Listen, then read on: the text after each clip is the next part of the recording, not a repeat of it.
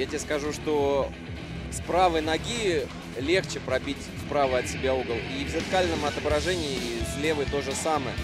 То есть здесь можно предугадывать вратарям уже момент у Бенджамина, но никак армейцы не могут переиграть Сидоренко.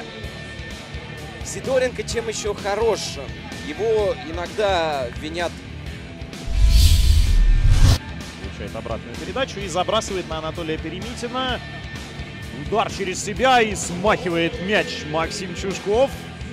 Еще плюс э, один сейв Максиму.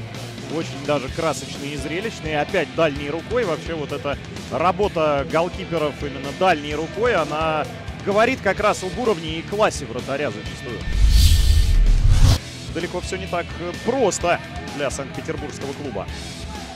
Обратный эффект срабатывает момент и Островский тащит удар в упор Панкратова. Сначала сам же небольшую ошибку совершил после хлестного выстрела Бакини, но там и обзор был закрыт. А вот второй сейф просто чудесный. На заметку всем.